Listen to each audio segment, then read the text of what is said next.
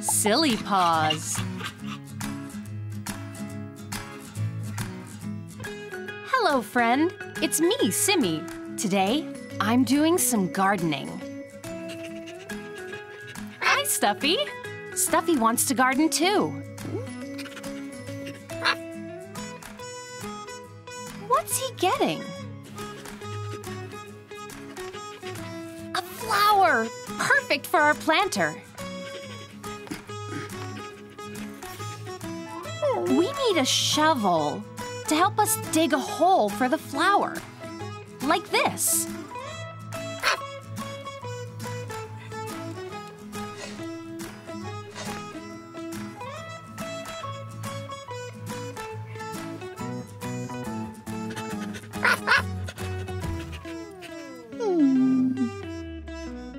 Stuffy doesn't have a shovel. That's okay, we can share. I